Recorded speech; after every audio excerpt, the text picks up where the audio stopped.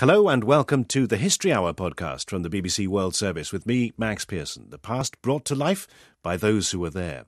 This week, the mysterious death of Mozambique's President Samora Machel. My mission was to try to establish whether or not that this was in fact an assassination rather than an accident. Plus, a survivor of the Moscow theatre siege. People seem to turn to stone in shock. Just imagine a group captured a thousand people with great ease. And inside the Cuban Missile Crisis. I remember leaving the president's office in the White House. It was a beautiful fall evening in Washington. And it sounds melodramatic for me to say this, but I thought I might never live to see another Saturday night. That's all coming up later in the podcast. But we begin on the streets of London in the years after the end of the Second World War. Britain and the Allies had spent six long years and an enormous amount of blood and treasure in the defeat of fascism in Europe. The horrors of the Nazi concentration camps and the extermination camps were fresh in the memory. And yet, even in this environment, a strand of British fascism re emerged as a political movement in the late 1940s. But this time, with the experience of what Europe had just been through, these British fascists were confronted by a group of predominantly Jewish ex servicemen and volunteers. Alex Last has been speaking to one of them.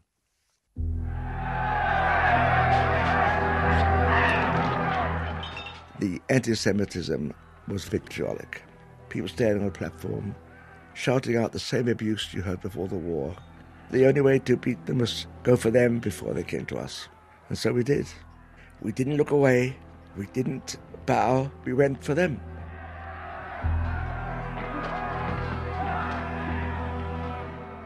Jules Konopinski was born into a Jewish family in Breslau, a town in Germany, in 1930. Persecuted by the Nazis, his family managed to escape Germany just before the Second World War began. They made it to Britain and settled in the East End of London, a relatively deprived area which since the late 19th century had become home to a large Jewish immigrant community. But there was a lot of anti Semitism there too, as Jules discovered when he went to school. School was in Bethnal Green. The whole area was a hotbed of anti Semitism, racial abuse, verbal abuse. In fact, in order to get to school, a friend of mine, we had to go into Victoria Park, which is next to the school, and we used to take on all comers back to back and fight the world.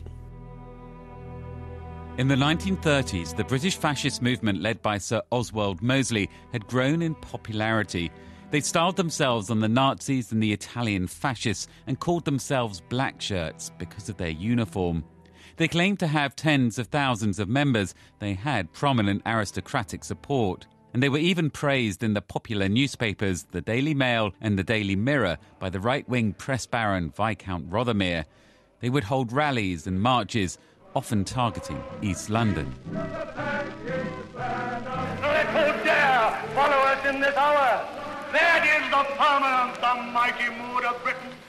And I claim that in the ranks of our black shirt legions, march the mighty During the Second World War, Mosley and hundreds of his fascist supporters were finally detained.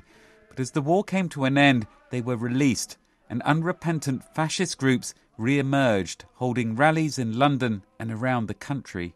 From then on, openly in the streets, you had public meetings shouting out the same antagonism and the same filth as before the war. And now, even worse, they say the gas chambers weren't enough. We didn't kill enough. Knowing that all our family had been wiped out. It was very disturbing. And I, for one, I could not stand by. I would not allow this thing to happen. No way. So, with other people, we got together and decided that if the authorities will do nothing, then we must do it ourselves. So, British Jewish ex servicemen got together to form an organisation known as the 43 Group to expose the fascist threat and battle them on the streets. There are various stories about the origins of the name, among them that 43 people were present at the first meeting. But the group included former commandos, paratroopers, airmen, and naval personnel, decorated war heroes, as well as civilian volunteers, men and women, and it had non Jewish members too. Jules Konopinski was one of the young, tough Jewish East End lads who joined up. I was a strong young lad, didn't know any fear, never gave ground. There was no membership card, but the actual members at one time reached well over a thousand in London. And there was training too for the recruits. There were boxing gymnasiums, private trainers, karate trainers. Uh, don't forget, people that came out the army were highly trained. They trained us how to defend ourselves and also how to hurt. I know it's a sad reflection now, but um, we felt it was something that had to be done. The 43 group would try to gain intelligence on where the fascist meetings were taking place. To do this, some even went undercover inside the fascist movement. We had three aims. One was to get information, two is to expose them, and three, we had to counter their publications because they were selling their newspapers on street corners. The 43 group would organise themselves to disrupt fascist meetings, overturning the speaker's platform, disperse their followers, and if that meant punch ups, which it usually did, that was fine too. We knew where they were going to be, and we were there waiting for them.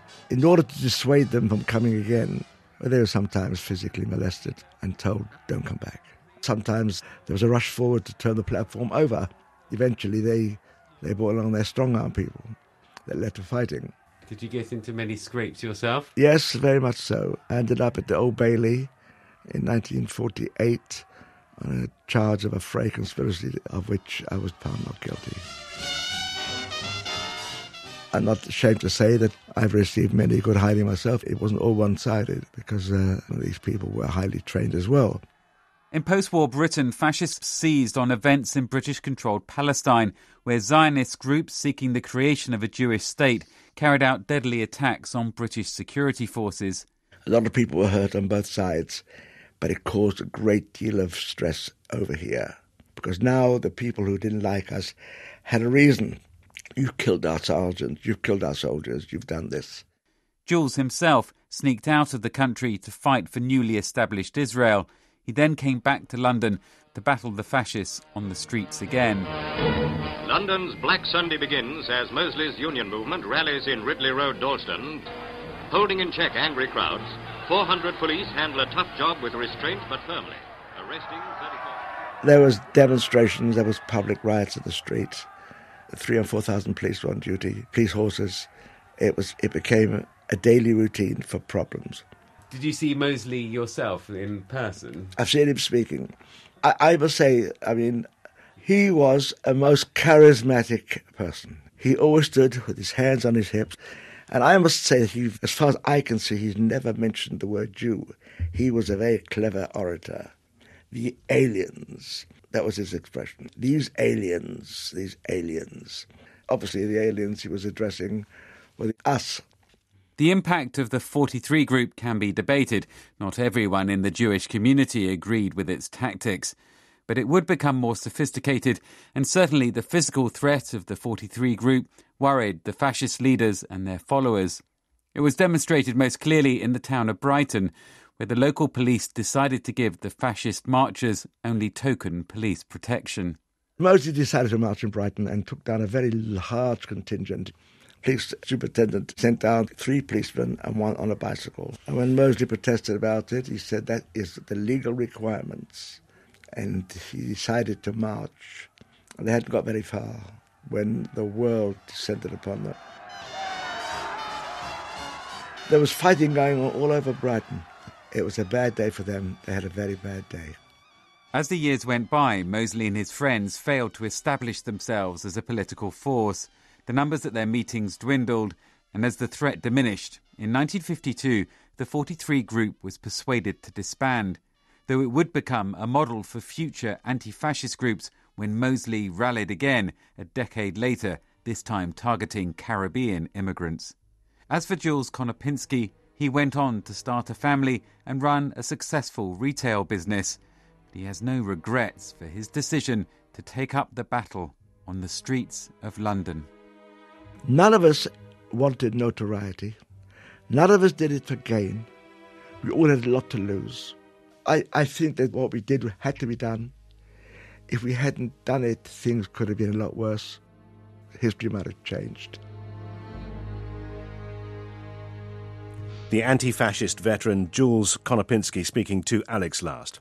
So, how was it possible that British fascists could reappear immediately after a war against the Nazis and still apparently be taken seriously by some? I'm joined now by Professor Nigel Copsey of Teesside University, who is a historian and specialist in fascism and anti fascism in Britain. It does almost beggar belief that the fascists sort of taken hold, in, even in a small way, in Britain. Mm. How so? Well, the interesting thing here is that the uh, the British fascists never really went away. During the war, over 800 of the leading uh, fascist activists were interned, and during this period of internment, they continued to follow their pre war leader, Oswald Mosley, with absolute utter devotion. So they kept the sacred flame alive. So internment was like a kind of martyrdom, you know, so whereby on release, fascists felt uh, purified, they felt reborn. So it's kind of paradoxical, but many felt they'd not lost the war, but had won it. So many interned fascists in Britain, and internment served to reinvigorate them, intensified their ideological faith. It became a badge of honour. So for British fascists, despite everything, fascism hadn't died in 1945. It may, for the rest of us, you know, it may well have been, or absolutely was, discredited and disgraced. But for them, the idea was still alive and it could be revived. So, in a sense, the fact that they were interned act almost as a uh, as an incubator for the ideals, even though, as you say, the rest of the world saw the horrors of what emerged uh, from Nazi Germany. That's right. That's exactly right. Yeah. Uh, what did they want, though? I mean, clearly they had seen uh, fascism defeated in Europe. What did the British fascists, after the Second World War, think that they were going to get? Well, the fascists were motivated by different things. I mean, for some, it gave vent to their anti-Semitic prejudices, and in many cases, you know, this was a real deep pathological hatred of Jews. Others saw in fascism the possibility of saving uh, the British Empire from decline. And then you had Mosley himself. Mosley attempted to distance himself from his pre war fascism. So he made repeated pledges to democracy. He developed a new program which was called Europe a Nation. So he called for Europeans to unite under a common government, a common market. But the problem for him was that his supporters, and let's be, you know, let's be honest here, there were not that many of them, um, a few thousand at most they harked back to the Britain First fascism of the 30s and found the shift in Mosley's thinking very difficult to stomach. But but the anti-Semitism remains sort of at the heart of the uh, the the ideology, if you like, of the, the fascists. And how was that complicated by events after the Second World War in the Middle East, with the move to establish the Jewish state, Israel? Well, what I mean, what fueled the anti-Semitic agitation of the Mosleyite, Mosleyites in um, in 1947, I think, were certainly you had the events in Palestine where um, two British soldiers had been uh, murdered by uh, Zionists, which provided a spark really for popular anti-Semitic rioting in various places in Manchester, in Liverpool, in Glasgow as well in, in the July of 47 but the fascist agitation itself, I mean, there's no real evidence to suggest that the fascists were behind this rioting. Their agitation was directed towards uh, East London, towards uh, places like Ridley Road in Dalston. Um, and so, yeah, I mean, that, I, th- I think we, what we need to bear in mind is that yes, the anti-Semitism was certainly fueled by events in the Middle East, but it was a, but what, but that anti-Semitism was a long-standing phenomenon in in Britain. Uh, and we heard from uh, Jules Konopinski and the, the, about the 43 group just now. Mm-hmm. Um, how effective were they? Was it the fact that um, uh, Jews and their fellows were prepared to stand up to the post-war fascists in Britain? Was that what stopped uh, fascism in post-war Britain taking uh, any further hold? Well, I think I think it's important to uh, put it into its historical context. I mean, given the widespread um, hostility that ordinary, the mo- most, by far the majority of people felt in this country after the war. You know, absolute disgust towards fascism. Um, that even without militant anti-fascism, you know, British fascism would have struggled to attract any wider popular support. That said, I think you know the 43 group was undoubtedly effective in being able to physically confront and attack and I think did ultimately kill off the fascist movement which had emerged following the Second World War. But we also have to bear in mind that the reality is that the 43 group was only ever partially effective because they also had another aim, and that aim was to impose a ban on fascism. Um, they wanted the Labour government, the post war Labour government, to impose a ban and to make incitement to racial hatred illegal. Um, and, and they were singularly uh, unsuccessful in those efforts. I mean, the government felt that there was no lead, no no real reason to amend the law. They could deal with the situation. Uh, the fascists really didn't pose that much of a threat, so the Labour government just didn't stray from its position and it refused to introduce legislation to suppress fascism. So the picture's a bit mixed. Um, depends on how you measure its effectiveness. I think in terms of um, in, uh, in terms of the war of attrition on the streets, they'd certainly worn down the fascists by early 49. Um, but on the other hand, in terms of actually bringing about government action against fascism, I think uh, you know they were were largely unsuccessful in that respect. And we have to remember, of course, that the far right ideology is is an ideology that that uh, that doesn't go away. It, it re-emerges in various forms and in various parts of Europe. That's right. I mean, if you if you look at the far right today, today's far right has become far more sophisticated and it's softened its extremism. You know, the swastika and leather boots uh, have been traded uh, for suits. Uh, you know, very few openly talk about the Jews. The new target is Islam. Fewer still talk about what white racial superiority. Um, but I think the old ideas are still there. They still remain firmly embedded within the far right psyche. I mean, the best analogy is that of seaside rock. Now, listeners may or may not be familiar with the hard stick shaped confectionery that we Brits eat at seaside resorts. But within this seaside rock, there are brightly coloured stripes that run through it, as well as the name of the resort where the rock is sold. And there's the playwright David Edgar once remarked that anti Semitic Jewish conspiracy theory runs through British fascism like Blackpool runs through Seaside Rock. And he's and he wasn't wrong. And so for all the differences, Britain, all their differences, you know, Britain's fascists still have much in common with those fascists of yesteryear that were out agitating in the street just after the Second World War. Professor Nigel Copsey of Teesside University, many thanks.